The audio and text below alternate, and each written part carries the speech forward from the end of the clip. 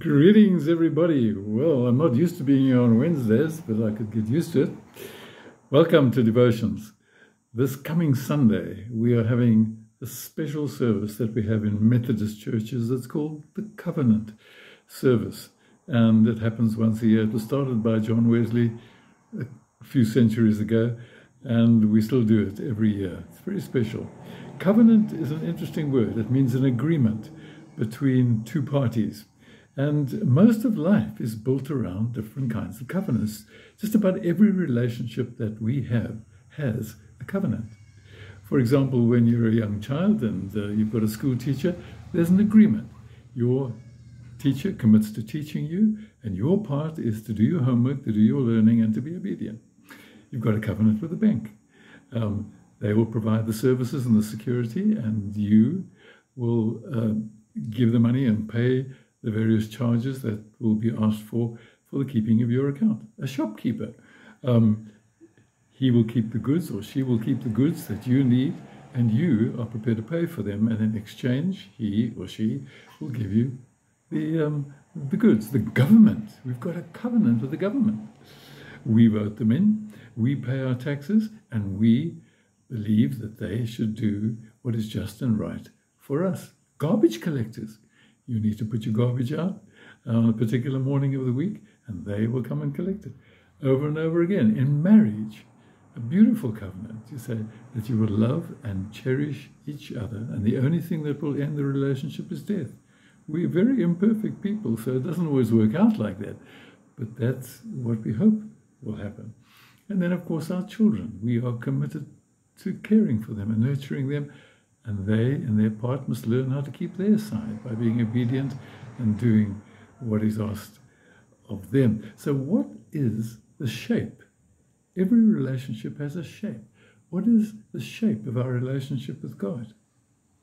Well, if you look back in the various stories of the Bible, you see that there were many different covenants. There was the covenant in the Garden of Eden. God gave Adam and Eve this beautiful place to live in. He gave them the gift of life and said, Now you can eat all the fruit, but not the fruit of the tree of the knowledge of good and evil. That was the deal. That was the covenant. They broke it. If you look at Noah after the flood, God promised that he would never again destroy the earth. He committed, and Noah and his descendants were to follow God and to trust him. Abram God called him to believe him, to trust him, and to go to the place that he sent him. And he said, I will bless you by making you a blessing to all nations, which was what happened to us through Jesus. And then there was Moses, where he gave the law. And he said, through Moses to the people of Israel, I will be your God, you will be my people, I will go with you, and you will keep my laws. And then Jesus, when he was um, at the Last Supper. And when he gave out the bread and gave them the cup of wine to drink from, he said, This cup is the new covenant in my blood, a new covenant.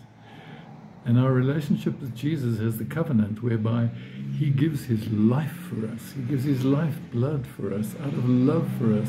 He can give no more on the cross.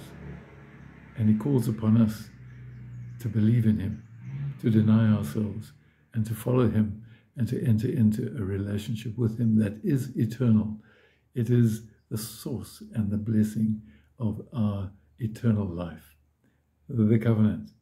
And so on this Sunday, we want to renew our covenant, but we can do it every single day. And we pray that beautiful prayer I am no longer my own, but yours. Put me to what you will. Rank me with whom you will. Put me to doing put me to suffering. Let me be full. Let me be empty. Let me have all things. Let me have nothing. I freely and wholeheartedly yield all things to you, blessed and glorious God, for you are mine and I am yours. So be it. And the covenant I make on earth, may it be ratified in heaven. A beautiful response to the love of God.